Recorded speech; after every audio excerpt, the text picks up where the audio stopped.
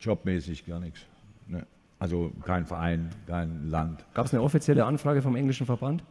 Ähm, also können wir jetzt einfach mal so, ich sage dazu nichts, aber egal wer angerufen hätte, ähm, also ich habe in der Pressekonferenz, oder nee, meine, in meinem Announcement habe ich gesagt, kein Land und kein Verein für mindestens ein Jahr.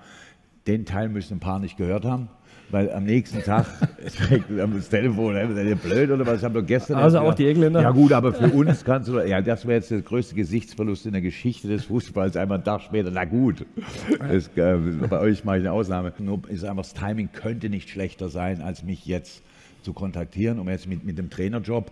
Ich werde irgendwas arbeiten, ich bin zu jung, um nur noch Personal Training und Paddle-Tennis und Enkelkind ähm, und so weiter, das ist ja Quatsch und Ehefrau logischerweise und, und Söhne und so weiter, aber ähm, ich werde das arbeiten.